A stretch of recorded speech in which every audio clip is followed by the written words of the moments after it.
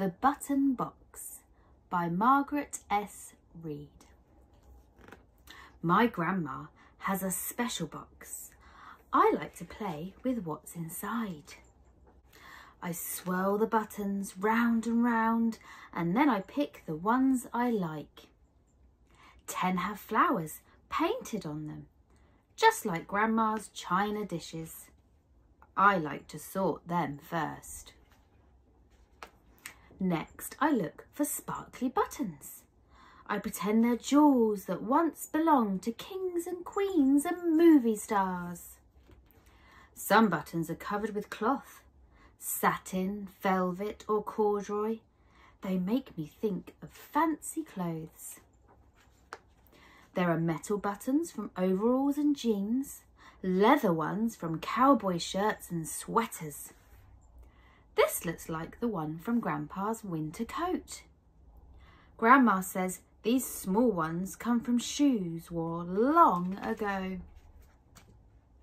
Next, I sort the shiny buttons that come from uniforms. I line them up like marchers in a big parade. The one with the eagle I call Mr. President. I pull out all the pearly ones and make a rainbow pattern. When does little change to big? I can never tell. Some buttons have four holes, some have two. Some don't have any sewing holes. They have shanks instead. These make good eyes on puppets or stuffed animals. Sometimes when Grandma sorts with me, we play a special game. We stir the buttons, shut our eyes, and then we each take one. Grandma asks, are they alike?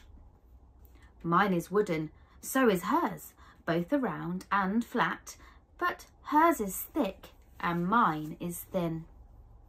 She puts my button on a string. Whirl it around, she says. The string twists up. I pull the ends. We listen to its hum.